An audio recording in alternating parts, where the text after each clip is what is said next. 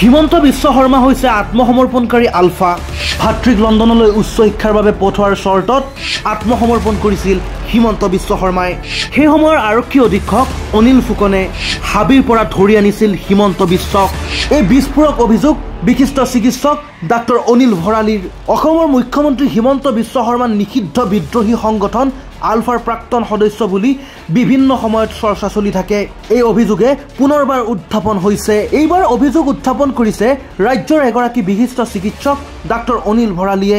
Doctor ভৰালীয়ে এই সন্দৰ্ভত সামাজিক মাধ্যমত অভিযোগ উত্থাপন কৰি লিখিছে। প্ৰয়াত গুৱাহাটীৰ এসময়ৰ এছ পি অনিল ফুকন যিমান দূৰ মনত পৰে ঊনৈছশ চৌৰান্নব্বৈ মানৰ কথা কংগ্ৰেছ শাসন অসমত প্ৰয়াত হিতেশ্বৰ শইকীয়া অসমৰ মুখ্যমন্ত্ৰী। মোৰ বন্ধু এসময়ৰ অসমৰ এছ এফ আৰ সাধাৰণ সম্পাদক হীৰেণ গগৈৰ আত্মীয় গুৱাহাটীৰ এছ পি আছিল অনিল ফুকন। মিচিং জনজীৱনৰ ওপৰত লিখা ঘাটে ঘাটে মানুহ এখন উচ্চমানৰ এখন উপন্যাসৰ লিখক। সেই সূত্ৰেই অনিল ফুকন মোৰো বন্ধু আছিল। এতিয়া আহোঁ আচল কথালৈ। হঠাৎ ঘৰত বহি থাকোঁতে হীৰেণ গগৈৰ পৰা এটা ফোন কল পাওঁ। হেঙেৰাবাৰীত এটা সৰু টিলাত মোৰ ঘৰটো। মই ততাতৈয়াকৈ তলত হেঙেৰাবাৰীৰ মূল পথলৈ নামি আহিলোঁ। তলত দেখিলোঁ এখন মাৰুতি ভেনত হীৰেণ গগৈ আৰু অনিল ফুকন বহি আছে। মোক দেখিয়ে ফুকনে ক'লে ডাক্তৰ ভৰালী বেয়া নাপাব ওপৰলৈ নুঠো আৰু এটা জৰুৰী কথা জনাই যাব বিচাৰিছোঁ। কথাটো হ'ল এই ঘটনাত মুখ্যমন্ত্ৰী হিতেশ্বৰ শইকীয়াৰ প্ৰকৃত উদ্দেশ্য কি মই ধৰিব নোৱাৰিলোঁ। সেয়েহে মই ঘটনাটো আপোনাক জনাই যাব বিচাৰিছোঁ।